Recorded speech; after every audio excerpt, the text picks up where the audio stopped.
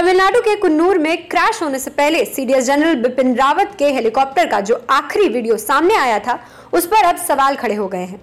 Police ने video बनाने वाले व्यक्ति के मोबाइल फ़ोन को जब्त करते हुए फॉरेंसिक जाँच के लिए भेज दिया है। साथ ही उनसे ये भी सवाल उठाए हैं कि वे जंगल के उस इलाके में क्या कर रहे थे, जहाँ बाहरी लोगों की आवाजाही पर प्रतिबंध लगा हुआ है। हादसे के अगले दिन इस हेलीकॉप्टर का क्रैश होने से ठीक पहले का वीडियो सामने आया था।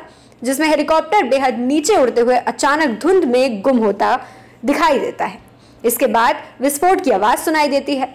इस वीडियो को बनाने वाला पुरुष और महिलाओं का एक समूह भी इसमें दिखाई देता है, जो जंगल में एक रेलवे ट्रैक पर खड़ा हुआ है।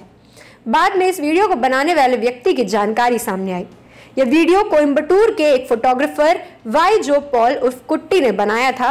जो उस वक्त हिली नीलगिरी डिस्ट्रिक्ट के कटेरी एरिया के जंगल में अपने दोस्तों और परिवार के साथ छुट्टियाँ मनाने गए हुए थे।